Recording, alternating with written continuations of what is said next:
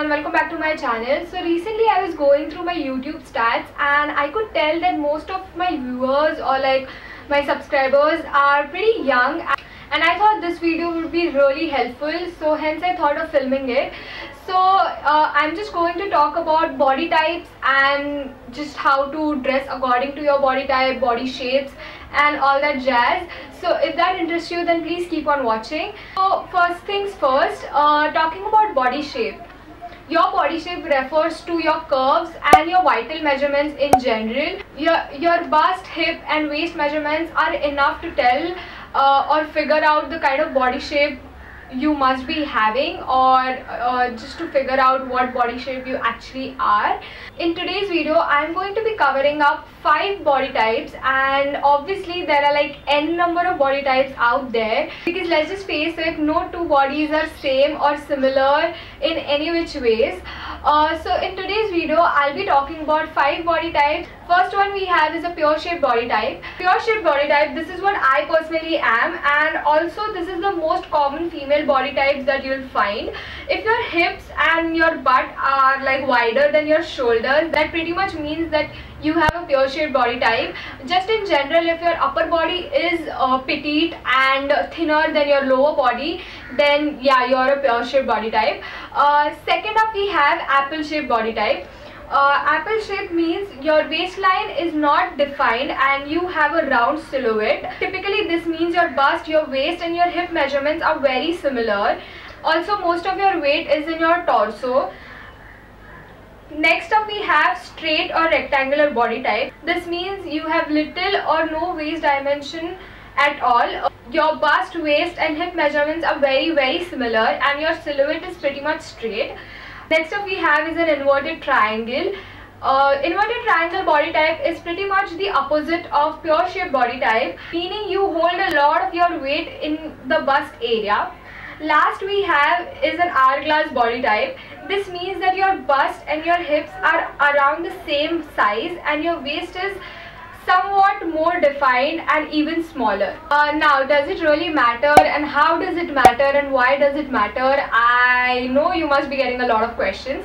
So uh, to clear that out, basically human eye is uh, naturally attracted to symmetry and symmetrical things in general. So what we are trying to do here is uh, we are trying to visually balance out your outfit. I mean if you know your body type, you can pretty much dress according to it. Like now I am a pear shape body type. So I know for a fact that I am heavier on my lower body. So I'll try and add more volume and body to my upper body to make it look symmetrical and appealing. So that's the logic and science behind it. Now few things that I want to talk before I actually get into the clothes that you should reach out. Uh, first things first colors. Now darker colors will minimize the appearance of things and brighter colors or lighter colors will maximize the appearance of things. Again patterns and details will add volume and um, body and all that jazz to a particular area. So yeah uh, first up i'm going to talk about is a pear shape body type. Now as you know you do have a pretty heavier uh, lower body and thinner upper body so what you can do is draw attention to your upper body, embellish around the neck. Uh, you can go for crop tops, off the shoulder tops. Uh, you can also go for A-line dresses, A-line skirts. Emphasize on your upper body while slimming the wider hips that you got. Bottoms, you can go for flared bottoms and darker colored bottoms that will give out an illusion that you have slimmer legs and slimmer hips in general. Next up we have apple body type. Uh, so uh, to visually balance out apple body type you can reach out to clothes like uh, wrap dresses, deeper necklines, wider leg bottoms, bottoms with patterned or details going on. Draw attention away from your waist and emphasize your bust. So anything that has deep neck like shirts and tops um, would do amazingly well for you. We have straight or rectangular body type.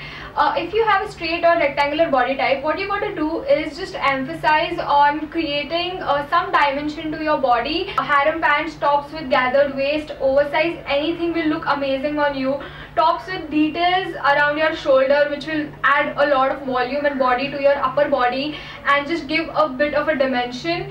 Next up we have inverted triangle. This is pretty much opposite to a pear shape body type. What you can do here is try and balance out your lower body as much as you can. So the things that you can reach out to are bottoms with wider legs. Uh, you can go for flared legs uh, bottoms with details patterns A-line skirts are again amazing. Peplums will work amazingly well. V-neck or V-line uh, tops and shirts would look amazing on you. Last body type that I'm going to be talking about is an hourglass body type.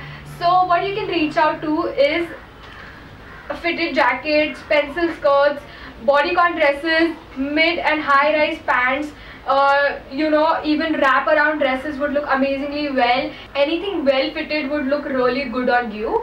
And that's pretty much it for my video. I tried covering as much as i could and i tried making as informative as i could. Uh, but again you know uh, these are just guidelines that you can follow if you want to uh, because these are not rules and laws that you have to have to follow because fashion has no rules and no laws and that's the best part about fashion. You do you. At the end of the day you can go out and wear whatever you want to. As long as you're comfortable and confident in it uh, everything else doesn't matter. But anyway I thought of making this video for you guys and thought that this would be really helpful. I hope that you learned something out of this. And if you did then please like share comment and also subscribe to my channel if you haven't already. Also while you are at it you can even press the bell icon so it notifies you every time I post a video. And that being said I'll see you next time. Bye